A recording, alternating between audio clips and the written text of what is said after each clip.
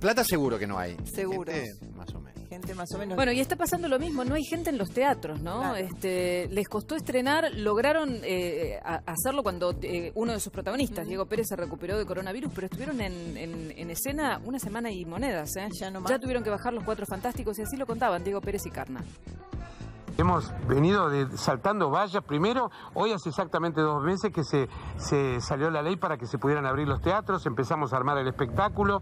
Luego yo, cuando tuvi- teníamos la fecha de estreno, yo tuve mi COVID, que gracias a Dios no fue grave, por suerte, pero tuve que volverme a Buenos Aires y aislarme. Y pusimos fecha de estreno el 6, y el 6 fue la semana justo donde se empezó a hablar de la restricción horaria.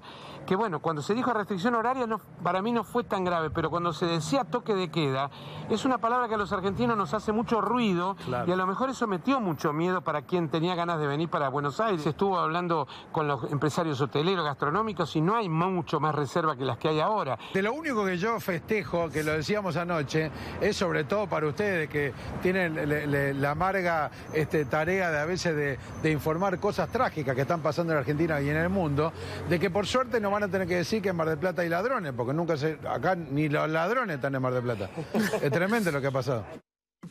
Tenía que tener Bueno, no perdieron chiste, el ¿no? humor, eso, eso es bueno. La, ver- la verdad es que la situación para los artistas es súper preocupante.